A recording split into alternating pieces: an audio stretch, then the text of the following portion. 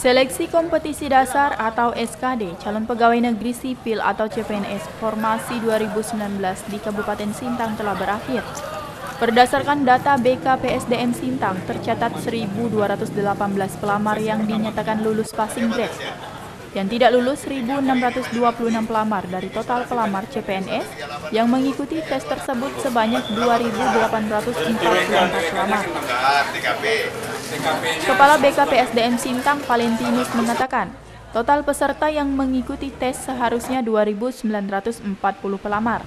Akan tetapi yang hadir mengikuti tes hanya 2.844 pelamar. Di data, tercatat 96 pelamar CPNS di Sintang tidak mengikuti tes tersebut. 96 pelamar yang tidak mengikuti tes tersebut ada yang tanpa alasan, bahkan ada yang datang terlambat. Karena itu, panitia tidak akan memberikan toleransi bagi pelamar CPNS yang tidak hadir maupun datang terlambat saat pelaksanaan tes CPNS. Jika dilihat dari jumlah pelamar yang mengikuti tes SKD CPNS, kurang lebih 42,83 persen pelamar yang telah memenuhi ambang batas nilai passing grade. Untuk nilai tertinggi pada passing grade ini 424. Yang tidak hadir ya tetap anu, tidak bisa kita toleransi lagi.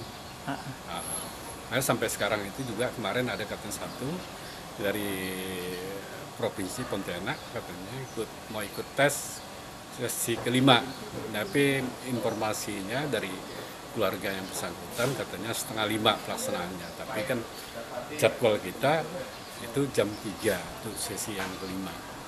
Nah, ini tidak bisa lagi karena itu udah lewat lagi. Ya, banyak juga yang tidak hadir karena kita alasan mereka tidak hadir sehingga belum tahu proses karena tidak ada yang komplain segala macam.